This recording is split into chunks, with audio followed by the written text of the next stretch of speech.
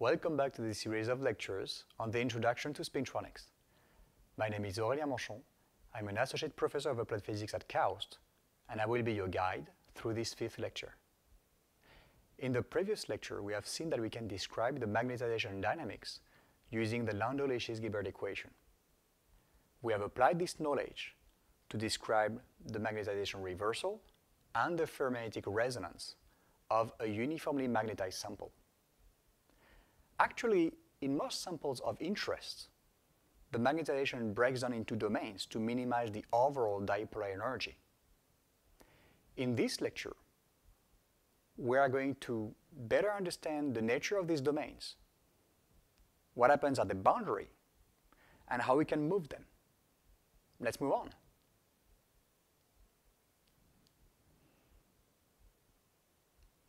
In this part, we are going to focus on the static properties of the boundary between two magnetic domains called a magnetic domain wall. We'll first look at the impact of the dipolar coupling on the magnetization and see how it gives rise to magnetic textures. Then we will explore the nature of those domain walls in one and two dimensions. And finally, we are going to look at the impact of the Dzyaloshinskii-Moriya interaction on those domains and see how it gives rise to textures with a defined chirality. Let's go.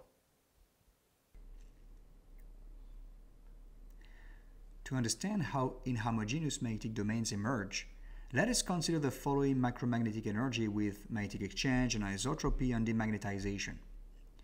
If the exchange is much larger than the other energy terms, the magnetic moments of a given magnetic object remain aligned with each other and no magnetic texture can be stabilized. As we have seen previously, the dipolar energy can be modeled by a constant demagnetizing tensor in this case. On the downside, this homogeneous magnetic distribution accumulates magnetic charges on opposite edges of the sample, creating a strong demagnetizing field. In the opposite case, if the dipolar energy dominates, it tries to minimize the magnetic flux radiated by the magnetic object. Based on this idea, Vandenberg proposed a geometrical method to construct the distribution of the magnetic moments inside a given magnetic material. The cancellation of the magnetic charges at the surface of a magnetic volume imposes that the divergence of the magnetization vector vanishes. This means that the magnetic moments must be parallel to the interface. This is illustrated here, here, and here. Now there are regions of the object where the magnetization direction changes abruptly. One can identify these boundaries by drawing increasingly large circles from regions of sharp curvature. The position of the center of these circles defines the boundary between homogeneous magnetic domains. I can do it also from this point and from this point. The three lines meet in the center of the object and I can use them to draw the general form of the magnetic texture. Here you go. Now keep this construction in mind because whenever this is possible, Whenever the exchange is not too strong, the magnetization will always tend to minimize the dipolar coupling by adopting such a twisted configuration. The very complex distribution of the magnetization is quite different from the macrospin's case and displays lines of abrupt changes of direction. Such lines are called domain walls and is the focus of the present lecture. Let's take another classical example. Consider a rectangular magnet, the same magnet we looked at in the introduction. If all the magnetic moments are aligned, the magnet radiates a large stray field. To reduce this stray field, I can flip half of the magnetic moments downward. This comes at the expense of creating a domain wall and does reduce significantly the radiated stray field. I can do better and create more anti-parallel magnetic domains. I thus create more domain walls, but reduce the stray field further. Another method to reduce the stray field is to create magnetic domains with magnetic moments forming an extended vortex configuration. I can create even more of these extended vortices, which reduces the overall stray field, but always come at the expense of additional domain walls. Now you see that you cannot repeat this procedure indefinitely, because each magnetic domain wall you create costs energy. As a consequence, the magnetic texture of a given material comes out of a compromise between the magnetic exchange, the anisotropy, and the dipolar energy. The average size of the magnetic domains is then characterized by a so-called exchange length that is roughly proportional to the square of the ratio between the magnetic exchange energy and the anisotropy energy. Depending on which mechanism defines the anisotropy, either the magnetocrystalline anisotropy or the dipolar energy, you can define different exchange length for a given material. Let me close this brief discussion with a couple of experimental images. The top view is an example of these diamond domains I just mentioned and that arise in microwires. The bottom image is a picture of a magnetic maze formed by magnetic domains in a large sample of a few tens of microns. What I'd like to talk about now is what happens at the boundary between two adjacent domains.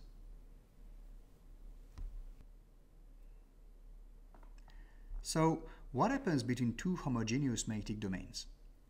The simplest domain wall structures you can think of are shown here. On the left, you have the Bloch wall, where the magnetization in the center of the wall points perpendicular to the direction of the wall. On the right, you have the Néel wall, where the magnetization in the center of the wall points along the direction of the wall. What is the difference between these two walls? In the Bloch wall, the magnetic charges remain away from each other all along the wall. So a priori, you would expect the dipolar energy to be somewhat satisfied. In the Néel wall, the magnetic charges strongly interact in the center of the wall, so you expect a large concentration of dipolar energy in the center. So, from the energetics point of view, Bloch walls are more likely to occur than Néel walls. Of course, this statement is not general and strongly depends on the details of the energy landscape, as we will see in a few slides. So let's focus on the Bloch wall and see how it emerges from the competition between exchange and anisotropy. Here is the magnetic energy we are going to consider, composed of exchange and uniaxial anisotropy along z.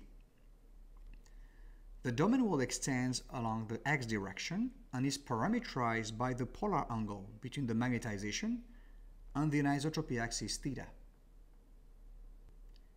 What we're looking for is an expression of the domain wall profile.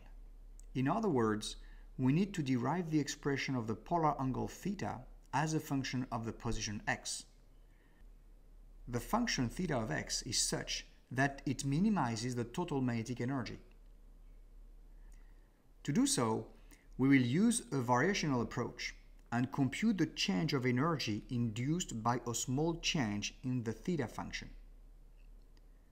We obtain this expression that we can reduce this way. Now, we want to cancel the integrand, which leads us to a second order differential equation on theta. Remarkably, this equation is solvable exactly we first multiply both sides by d theta over dx, integrate it, and obtain a first order differential equation. Now we separate the variables theta and x and integrate it to obtain this nice relation. And finally, we get the expression of the profile of the Bloch wall. Here is a picture of the magnetization profile along the wall. So at plus and minus infinity, the angle theta is equal to 0 and pi respectively, which means that the homogeneous magnetic domains are aligned along plus z and minus z respectively. And close to the center of the wall, the my component is non-zero, as given by the expression of theta. Now, let's look at the parameters that determine the shape of the wall. The angle theta depends on only one parameter, delta. Delta is given by the square root of the ratio between the exchange and the anisotropy. So the larger the exchange, the longer the domain wall, because the canting between neighboring magnetic moments must remain small to satisfy the magnetic exchange. In contrast, if the anisotropy is large, the domain wall tends to be much shorter to minimize the length over which the magnetic moments point away from the anisotropy axis. Notice that delta is not the domain wall width though. The domain wall width can be determined from the tangent of the mz component close to the center of the wall and is equal to pi times delta. Finally, the total energy of the wall is given by the square root of the product of the exchange and the anisotropy. You see that it is always positive, so it does cost energy to create a wall. The theory we have just seen does not take into account the actual shape of the magnetic object. If one were to take this shape into account, one should consider the role of the demagnetizing field. For instance, if I consider a thick enough magnetic layer with in-plane magnetic anisotropy, the Bloch configuration should be favored. But upon reducing the thickness of the magnetic layer, the magnetic charges induced by the Bloch wall start to see each other, and there's a critical thickness below which the Néel configuration would be favored. This tendency is illustrated on the central graphs. The top graph shows the evolution of the energy of Bloch and Néel walls in an in-plane magnetized layer as a function of the thickness while the bottom graph shows the evolution of the corresponding domain wall width. But you see that there is a clear crossover between Néel and Bloch configurations. One can apply the same reasoning to a perpendicularly magnetized wire. If the cross-section is wide, the Bloch wall is favored. But upon narrowing the wire, the Néel wall will be favored for the same reason we just evoked. The dipolar coupling favors Néel wall when reducing the width of the magnetic wire.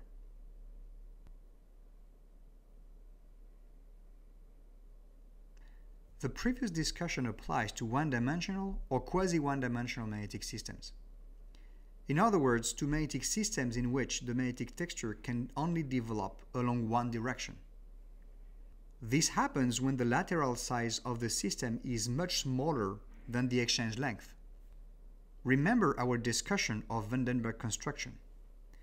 Whenever it is possible, so as long as the exchange length is smaller than the system size, the magnetization tends to twist in order to minimize the dipolar coupling. In the present case, when the width of the nanowire exceeds the exchange length, the transverse wall transforms into a vortex wall. Here is the paper I like. Using spin-polarized scanning electron microscopy on a permalloy wire, the authors imaged the transformation between transverse and vortex walls. This transformation is triggered by spin transfer torque, which means that it is a non-equilibrium process.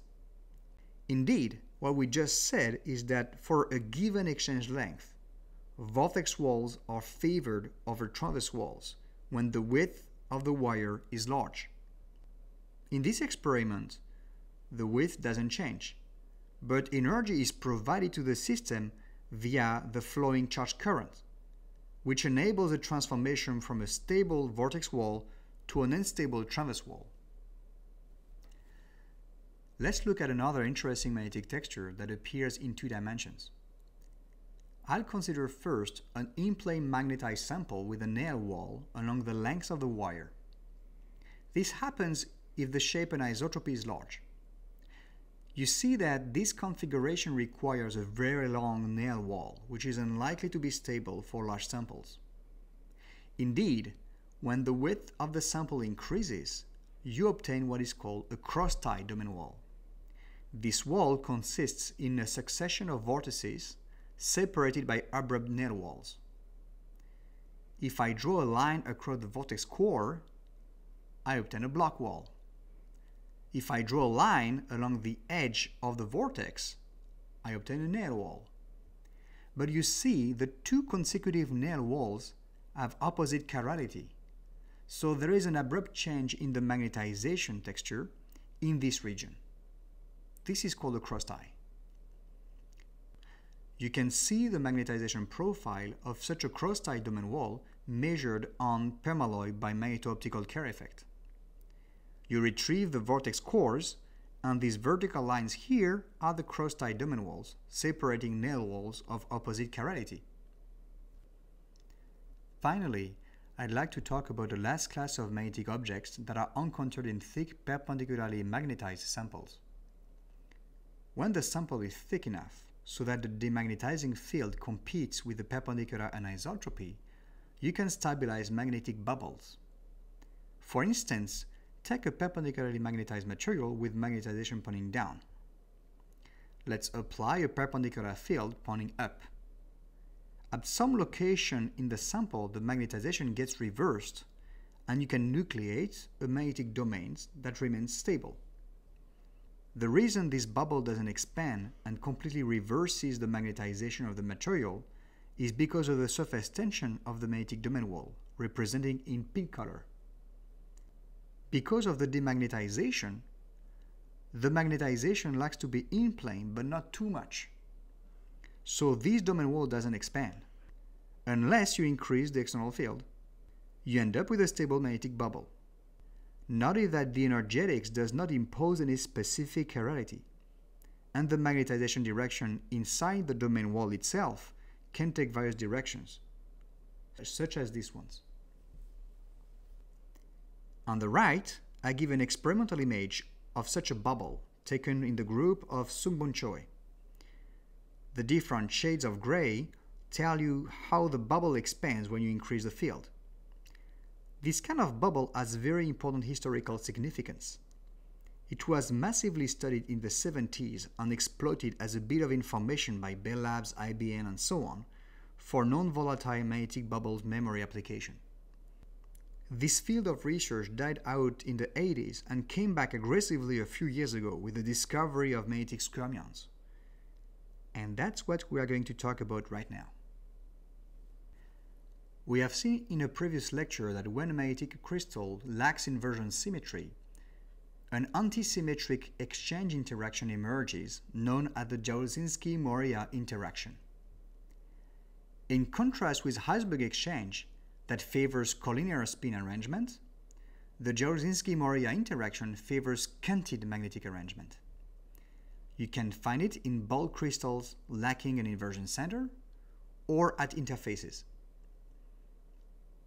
In the limit of smooth magnetic textures, when the magnetization gradient is small, the Dzyaloshinskii-Moriya interaction reduces to this expression, where Dij is an element of the Dzyaloshinskii-Moriya tensor.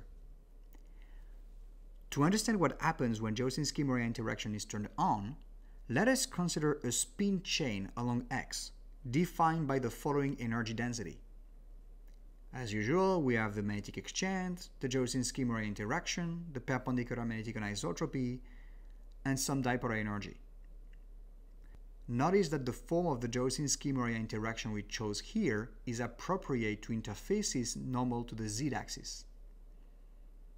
So this energy typically models a perpendicularly magnetized spin chain close to an interface.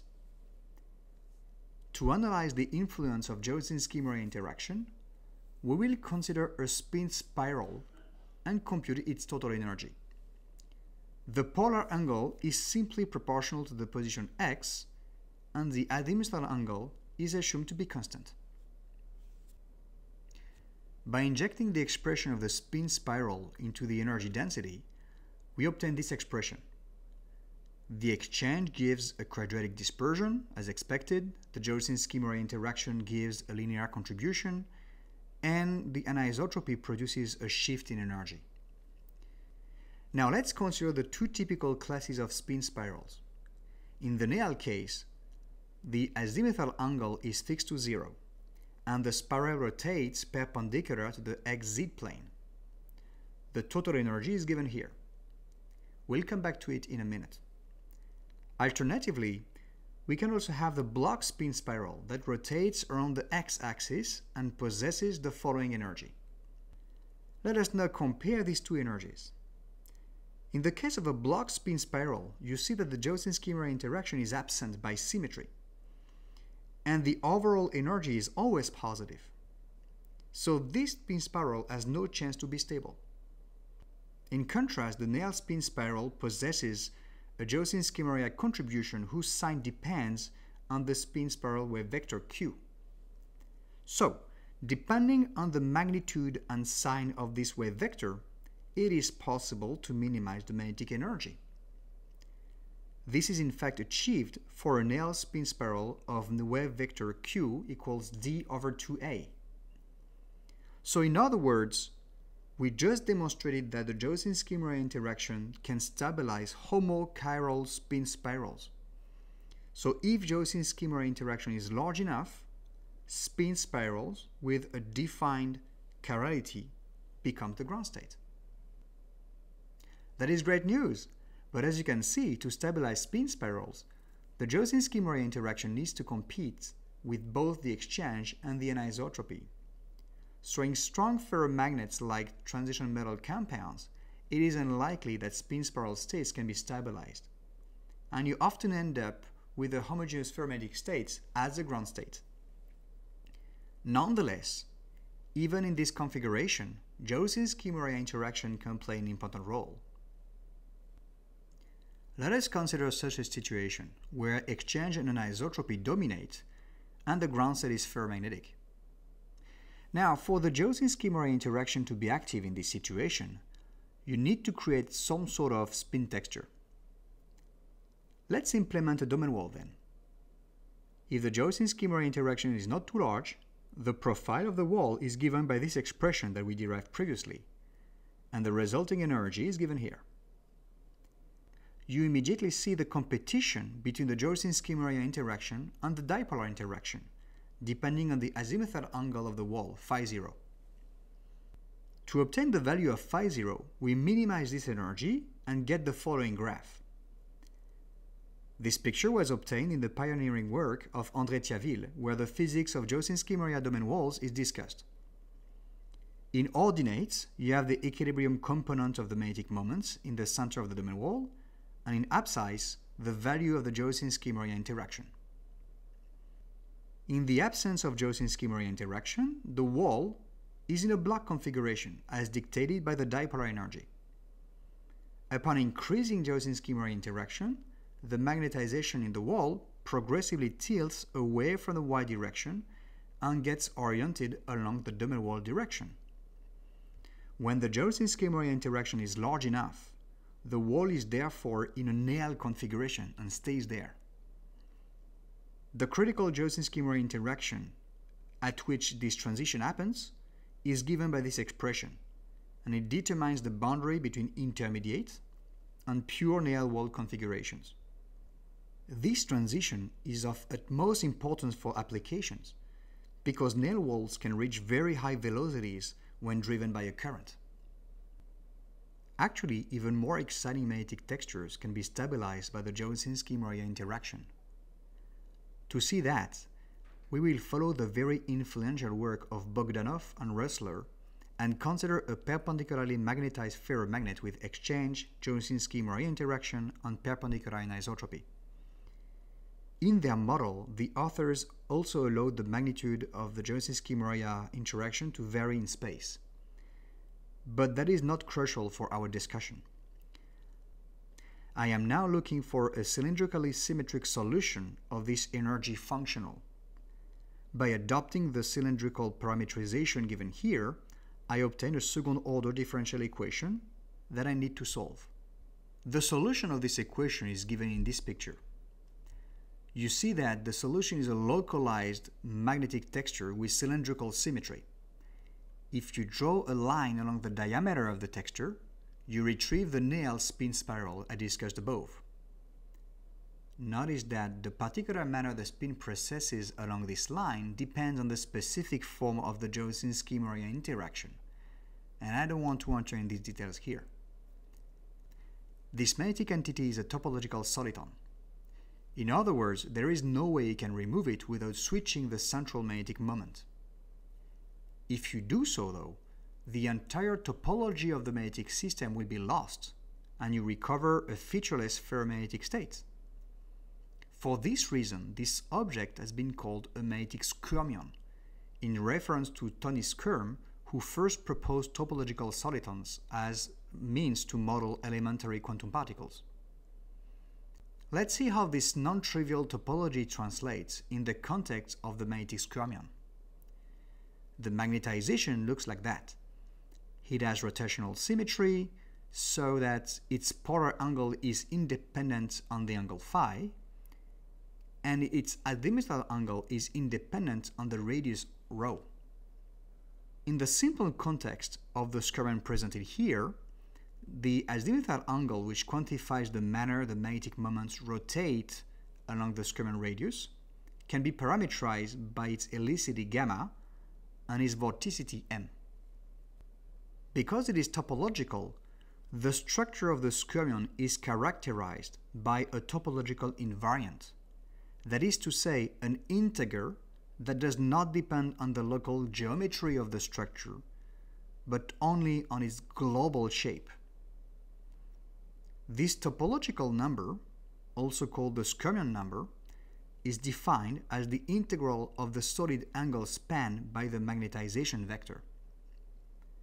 By considering the symmetry properties of the skyrmion, this integral reduces to this expression, which gives that the skyrmion number is simply equal to the vorticity. You see that this number does not depend on the exchange, Dzyaloshinskii-Moriya interaction, or even on the particular profile of the interaction along Z. It is an integer that characterizes its topology, but not its peculiar geometry.